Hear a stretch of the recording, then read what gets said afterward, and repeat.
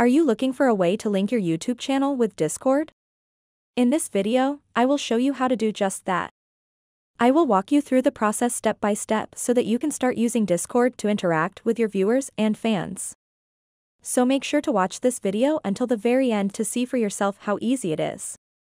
So first of all, open up your Discord app and then tap on these three lines at the top left corner of the screen.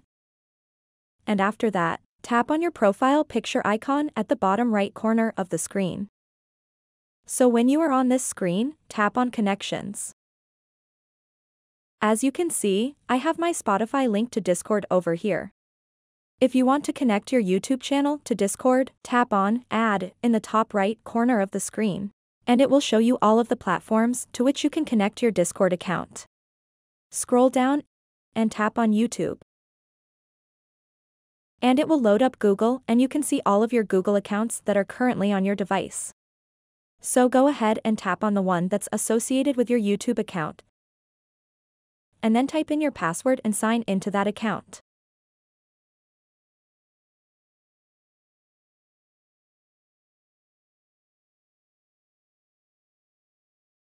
After that, scroll down and tap on Allow.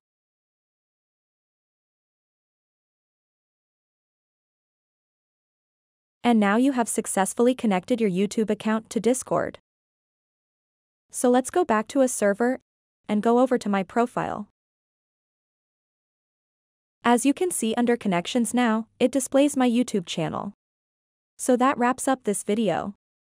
If you have any questions about this whole process, please let me know in the comments section below.